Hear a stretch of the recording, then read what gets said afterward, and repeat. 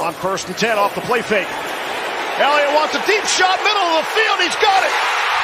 CeeDee Lamb going to be just short of the goal line for 40.